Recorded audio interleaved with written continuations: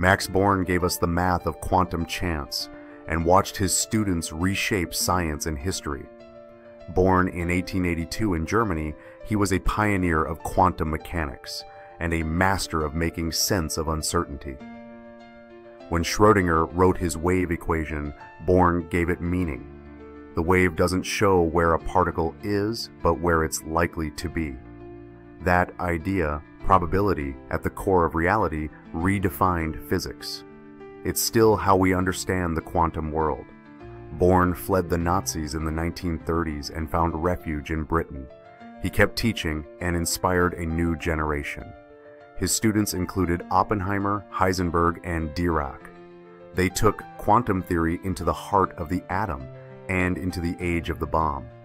Max Born won the Nobel Prize in 1954 for his fundamental work in quantum mechanics, especially for his statistical interpretation of the wave function. He said, Those who say physics explains everything understand nothing. He died in 1970 but his work and insights still shape quantum mechanics today.